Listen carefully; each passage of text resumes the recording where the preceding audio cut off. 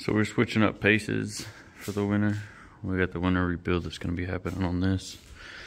It's a new hardline setup, some wrap and stuff, but we just went and picked up the new winter build. We're fixing to be uh, making a slab. We're gonna four link it, bag it, pancake the front subframe, some wheels, you know, some little stuff in there want to try to get it to drop body. We're for sure going to be throwing sparks on it. But, uh, a little loving. We've already put a little bit of washing in it, but it's going to get there. It's overall solid. I've been wanting to do it with the service bed. Lay out a truck with a service bed. You know, you see, gone a little bit in on the washing. You can see the difference. I'm gonna leave it like that until it's at least driving down the road. I think it'd be pretty sweet.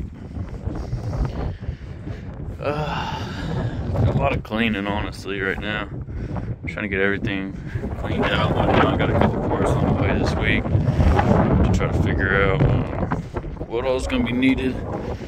Uh, it does run. We haven't drove it down the road yet. I'm gonna swap over to an electric fuel pump other than this mechanical because that one ain't pumping.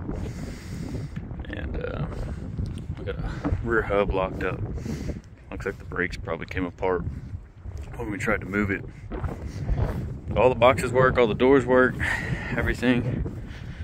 So, yeah, we're gonna grind this out this winter and try to uh, join the boys and the square bodies. See if we can't have a whole crew rolling all slabbed out. So, it'd be a good change of pace from a newer Euro to old square body.